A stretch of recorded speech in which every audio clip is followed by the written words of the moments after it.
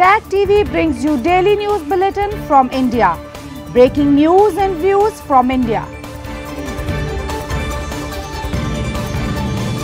You're watching South Asia News Hunt and other top stories we're tracking for you on Tuesday, the 25th of June.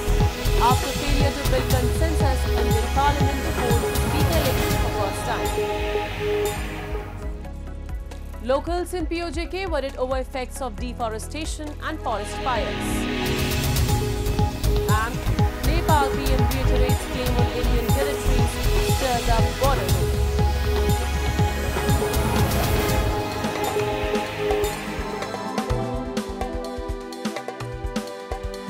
And now for all the details. Senior leader of India's ruling BJP, Om Birla on Tuesday filed the nomination for the Lok Sabha Speaker as the opposition in fielded Congress leader K. Suresh for the post. The development came after talks between the government and opposition failed over the appointment to the post, kicking the election for the speaker for the first time since independence. Condemning the move by the opposition, Union Minister Piyush Goyal said, while the government tried to build a consensus, the Congress put a condition of deciding the deputy speaker post first.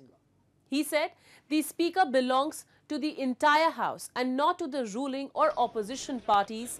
Same applies for the deputy speaker and thus it is not with the tradition of the Lok Sabha that the deputy speaker should be from a particular party. Lok Sabha का उप अध्यक्ष उपाध्यक्ष कौन होगा वो पहले तय करें फिर अध्यक्ष के लिए समर्थन मिलेगा इस प्रकार की राजनीति को हम अ, की निंदा करते हैं और मुझे लगता है कि अच्छी परंपरा ये रहती कि लोकसभा निर्विरोध एक सर्वसम्मति से अध्यक्ष चुनता तो लोकसभा की भी मर्यादा अच्छी रहती सभी पक्ष का उसमें योगदान रहता While Om Birla was the Speaker of the 17th Lok Sabha, where he was elected unanimously by both opposition and ruling parties, Congress leader K. Suresh is an eight-time Member of Parliament. The election for the Speaker is scheduled to be held on 26th of June which will be followed by the address by the President of India a day later. And days after Pakistan government approved a major anti-terror operation in the country, it issued a clarification that Azm-e-Istehkam is not a kinetic large-scale military operation, nor would it entail the mass displacement of the local population. In a late-night statement on Monday, the Prime Minister office said the latest order is unlike the previous such operations which were conducted to physically dislodge terrorists and required mass displacement of the local population and systematic clearance of affected areas.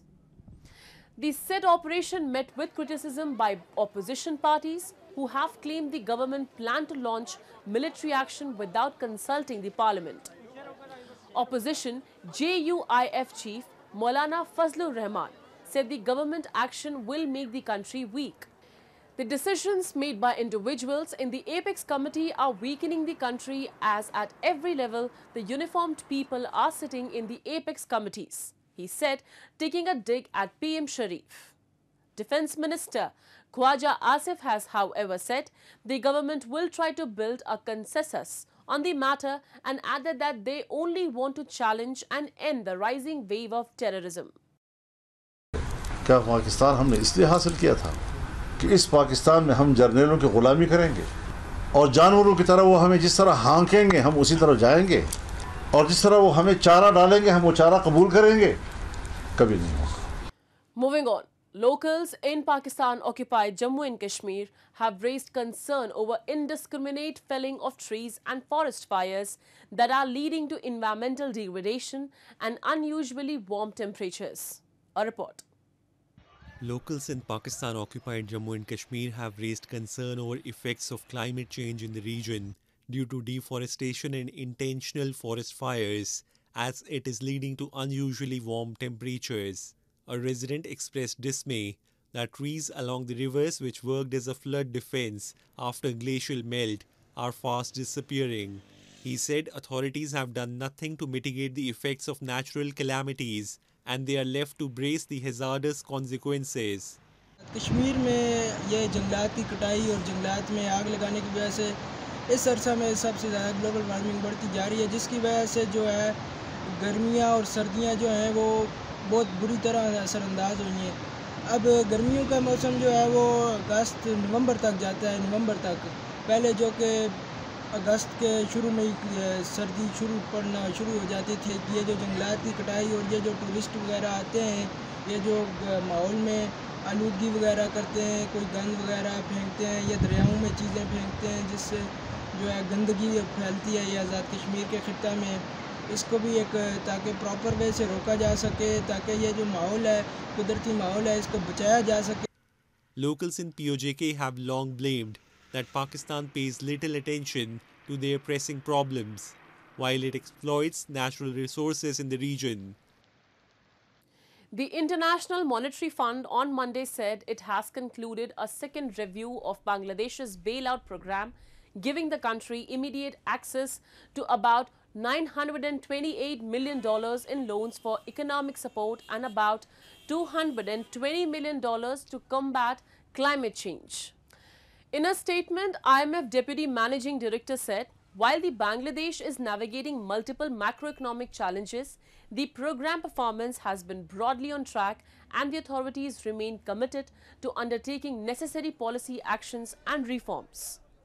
The $4.7 billion bailout to Bangladesh was approved by the IMF Executive Board in January 2023.